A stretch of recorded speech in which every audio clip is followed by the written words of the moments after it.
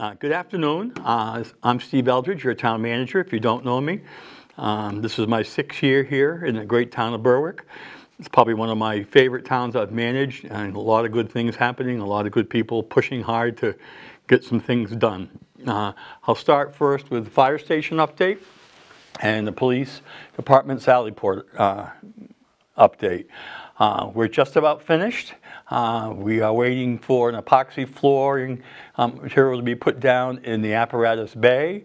But if you go by, you can see just what a great building it is. It's beautiful landscaping and um, really adds a nice touch to the town. But it's a very functional station. Hopefully, uh, you'll be able to see it. We're doing a virtual tour uh, probably this month or November. Uh, Chief uh, Plant and Chief Town will do a walk through their areas and show everybody what we've done. And then once this pandemic uh, is hopefully over, uh, we'll have an open house for everybody to come in and see. Uh, We are having the old fire station, the current one that they're in, uh, appraised. And come January, uh, we have a special town meeting uh, on January 5th. And there's a warrant article for the legislative body to approve that the Board of Selectmen can sell that building, uh, so we can put that towards the new building. We are taking the generator from there, and that is going towards, going over to the police station. Uh, It will uh, cover the whole station, so they, if we lose power. But, uh, and once we get approval, the- the whole, I- I'm assuming that it's gonna be a a bid process, so we'll see how that goes. But, um, a lot of good work has been done over there. We're doing some clearing out and uh, putting, finishing up some sidewalk work, but that area is absolutely beautiful. You haven't seen it, you should take a walk in and and see what's been done. Uh, Paving this year is almost done. We have another week, and the pavers are coming back to do uh, Long Swamp, a section of Long Swamp where the road is peeling off. Uh, It's a pretty bad section. Uh, We're just going to do a shim, a little bit of an overlay there to get us through the winter, and we'll come back to it. We did uh, Little River Road this year. Uh, That was a change from what we originally started with. We had looked at doing uh, Cranberry Meadow, but we decided, uh, hearing from some of the people who live on Little River Road, that we should take a better, a harder look at that and, and see that one section that was uh, pretty, pretty awful.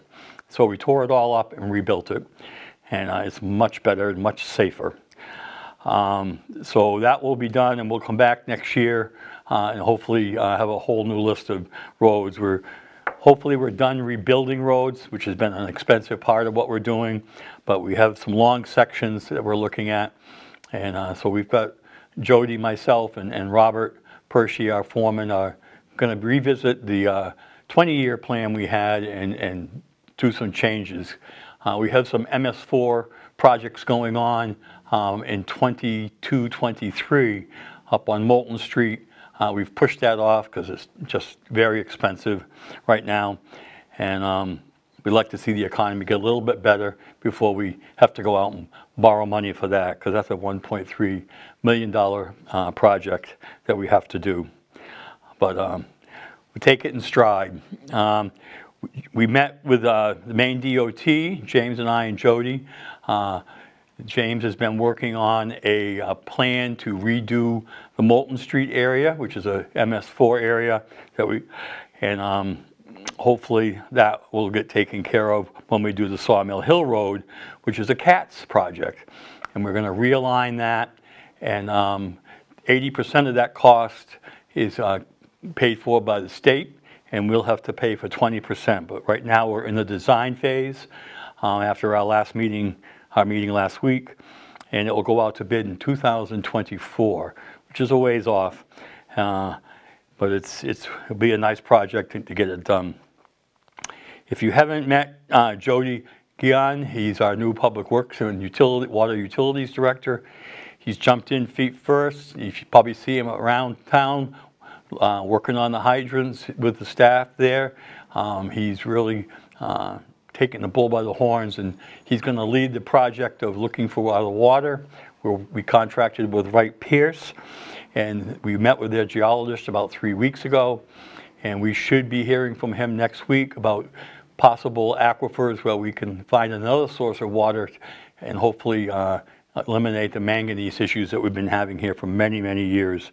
He's also been looking at the infrastructure of, of, of the underground piping and stuff, and he's got a lot of things that he feels needs to be taken care of there too. You'll see them out and about, and uh, hopefully improving the water quality and, and making changes in our uh, infrastructure, which are needed.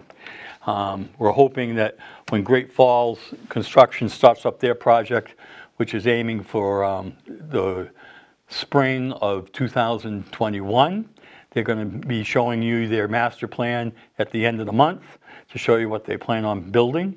And then they'll start uh, the planning board process November, December, and January, uh, which will take some time. It's a big project, um, but they're great to work with, and, and they've worked with us hand in hand to get where we need to be to see some really nice uh, buildings put up and some changes. Um, Besides that, the, uh, which I guess is enough, but we just finished our audit. We got it uh, back last week. Uh, It's up on the website, so if you want to see how we've been doing, it it came in uh, very good. We have a healthy unassigned fund balance, which helps us get through the lean months uh, when we don't have uh, tax money coming in. But the staff has done a good job, department heads, in keeping within their budgets and trying to be conservative when it comes to projects so we don't spend too much. This year is, is a tough year just because of the pandemic and uh, people, um, we won't be seeing as much revenue from the state that we've you, used to, as well as the school budget probably isn't getting as much as they usually do as well. So we all are tightening our belts and hoping to get through this pandemic and get back to normal. Right now, that's it. Staff here is very healthy. They're all wearing their masks and, and doing their social distancing. Um, So I think uh, we're in good shape for now. I hope you, you all stay safe, and we'll see you in a couple of months, and we'll have a whole list of things that we're doing still. Uh, Thank you.